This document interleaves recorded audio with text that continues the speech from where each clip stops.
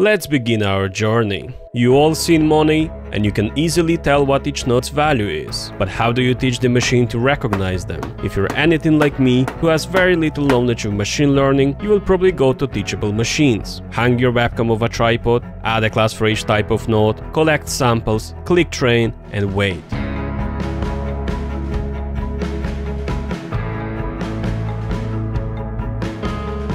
Once training is complete, test the predictions for each node, export the model which will give you a very basic all-in-one page, slap some bootstrap around pre-generated code to make it look nice, and then spend 40 minutes playing around with it.